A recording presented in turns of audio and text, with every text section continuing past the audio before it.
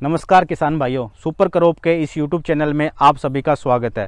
किसान भाइयों, आज हम चर्चा करेंगे कि 120 दिन के बाद में आपको कौन सी दवाइयों का प्रयोग करना है किसान भाइयों। 60 से लेकर 90 दिन के बीच में दवाइयाँ अलग थी किसान भाइयों 90 से लेकर 120 दिन के बीच में भी दवाइयाँ थोड़ी अलग थी। कुछ एक दो दवाइयाँ साठ से लेकर नब्बे दिन वाली भी आप उसमें प्रयोग कर सकते थे। अब किसान भाइयों, जैसे ही आपकी फ़सल एक सौ बीस दिन की हो चुकी है अभी एक दिन से ऊपर की है तो अब आप कोई भी दवाई प्रयोग कर सकते हो। सारा जो आपकी फ़सल 120 दिन के ऊपर की होगी तो उस समय जो सबसे पहली दवाई है किसान भाइयों, वो आपको इथियोन इथियोन दवाई जो आप सफ़ेद मक्खी के लिए प्रयोग में लेके आते थे तो वो दवाई आप प्रयोग कर सकते हो किसान भाइयों। इथियोन की जो मात्रा है किसान भाइयों, वो आपको 800 सौ प्रति एकड़ के हिसाब से रखनी है।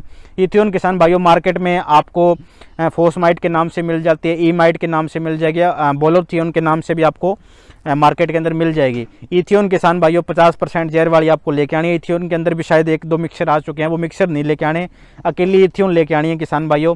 इथियोन क्या सफ़ेद मक्खी को भी कंट्रोल करेगी और गुलाबी सुंडी पर भी अच्छा लंबा असर आपको देखने को मिलेगा। अगर आप 120 दिन के बाद में प्रयोग कर रहे हो, किसान भाइयों बाद में किसान भाइयों, आप बेटा साइफेलिथ्रिन दो दवाई आती है, उसका प्रयोग भी कर सकते हो किसान भाइयों।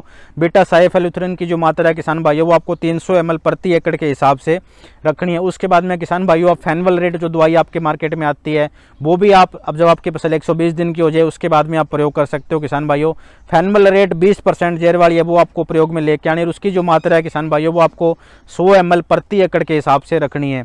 उसके बाद में किसान भाई लेमडा साइवेलोथ्रिन जो दवाई आती है किसान भाइयों, वो भी आप 100 जब आपकी फ़सल 120 दिन की होगी, उसके बाद में आप प्रयोग कर सकते अल्फ़ा मैथरिन दवाई आती है किसान भाइयों 10 परसेंट जहर वाली या 10 परसेंट इसी जिसको बोल सकते हो आप।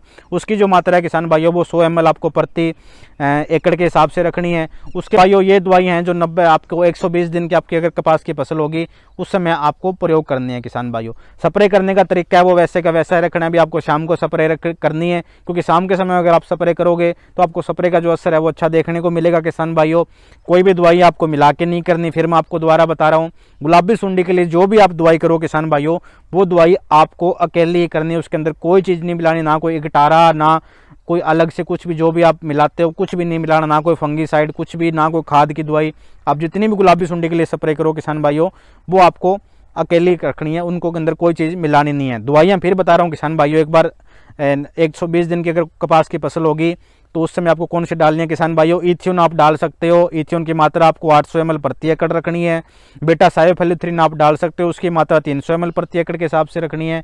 उसके बाद में फैनवाल फैनवाल रेट जो फैनवाल के नाम से दवाई आती है किसान भाइयों, वो आप डाल सकते हो, उसकी मात्रा सौ एम प्रति एकड़ के हिसाब से रखनी है। क्लोरोपायरोफोस भी आप डाल सकते हो किसान भाइयों, उसकी मात्रा आपको पाँच सौ प्रति एकड़ के हिसाब से रखनी है। लेमडा सायोलिथ्रिन जो दवाई आती है किसान भाइयों, वो आप प्रयोग कर सकते हो, उसकी मात्रा दो सौ प्रति एकड़ के हिसाब से रखनी है। डेल्टा मैथ्रिन जो दवाई आती है किसान भाइयों, वो आप डाल सकते हो। उसकी मात्रा आपको एक सौ साठ एम प्रति एकड़ के हिसाब से रखनी है। उसके बाद में आप अल्फ़ा मैथ्रिन जो दवाई आती है किसान भाइयों, वो भी प्रयोग कर सकते हो। उसकी मात्रा सौ एम प्रति एकड़ के हिसाब से रखनी है। और फैनपो फैनपोपैथ्रिन जो दवाई आती है किसान भाइयों, तीन सौ वो भी आपको प्रयोग में ला सकते हो। तो किसान भाई ये दवाइयाँ थी जो आपको, जब आपकी फ़सल 120 दिन की हो जाए, उसके बाद में प्रयोग करनी है। किसान भाइयों, जो भी है साइपर मैथरीन, डेल्टा मैथरीन है, ये आपको भूल के भी नब्बे दिन से पहले प्रयोग में नहीं लेके आनी। जो किसान भाई इनका प्रयोग करेंगे, उनके खेत के अंदर या तो सफ़ेद मक्खी, या जूं, या हरे तेले का प्रकोप ज़्यादा हो जाएगा। और जो दवाई 60 से 90 दिन के बीच में बताई गई है, उनका 60 से 90 दिन के बीच में प्रयोग करें। जो दवाई 90 से लेकर एक दो एक दिन के बीच में बताई गई है, उनका 90 से लेकर एक दिन के बीच में प्रयोग करें।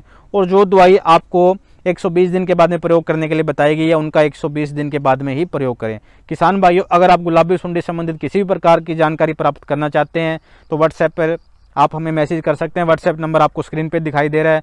उसके साथ साथ किसान भाइयों, हमारे यूट्यूब चैनल को भी सब्सक्राइब करिए और साथ ही घंटे का बटन दबाइए ताकि जब भी कोई नई वीडियो आए, उसकी सूचना आप तक पहुँच